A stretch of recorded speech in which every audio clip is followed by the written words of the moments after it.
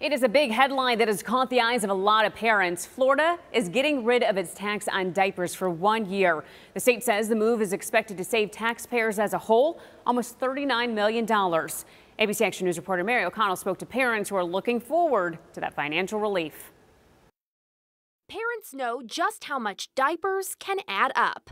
Josephine Vong is a mom to a one year old and has a baby on the way. We kind of did the stockpile thing um, and then we've just been buying ever since. Parents could soon get a break when buying diapers. The 2022 state budget as approved Monday, includes the removal of the sales tax on diapers. The tax exemption includes single use diapers, reusable diapers, and reusable diaper inserts. One in three mothers in Pinellas County and Hillsborough County will face diaper need at some point in their lifetime, so the need is extreme in this area. According to the National Diaper Bank Network, one in three American families struggle with diaper need. Tori Josawan is the director and founder at Baby Diaper Bank in Pinellas County. The average parent will spend 80 plus dollars per child per month on diapers. So that is nearly $1,000 a year. So it's, it's a big burden that these parents are facing, especially with gas prices going up and inflation. It's, it's very expensive. The benefit would take effect July 1st. The governor hasn't signed the budget yet, and it needs his signature to make the diaper sales tax exemption official. Officials tell me state legislators would have to come back and reauthorize the diaper sales tax exemption